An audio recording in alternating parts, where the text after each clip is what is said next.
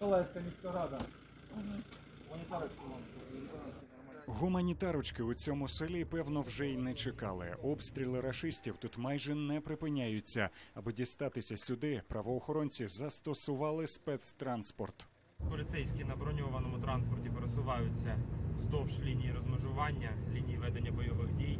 Буде доставлена гуманітарна допомога безпосередньо до тих населених пунктів, де не доїжджає ніхто, волонтери. Перша зупинка Миколаївська громада Краматорського району. Поліцейські доставили пенсії для жителів прифронтового міста. Зараз проходить розвантаження. Далі будемо прямувати до інших населених пунктів, де потрібно евакуювати людей та доставити гуманітарні вантажі.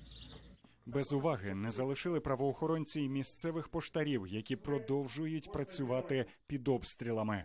Укрпошта видає пенсію. Да. Співробітники відділення нашого, не будемо казати якого. Дуже гарні дівчата. Броніки їм привезли, пошта з відомостями теж привезли.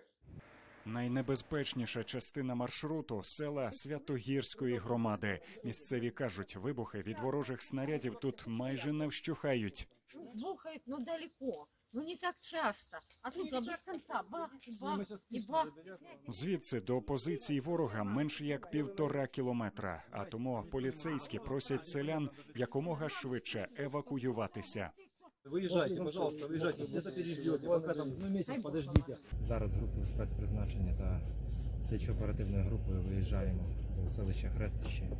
Поліцейські розповідають, під час їхньої подорожі рашисти здійснили сім потужних атак у цьому районі. Та, попри це, евакуювати з небезпечної зони вдалося двох літніх людей, які були не в змозі виїхати самі. На більш спокійній території волонтери знайдуть їм прихисток. Євген Онопрієнко, подробиці телеканал Інтер, марафон. Єдині новини.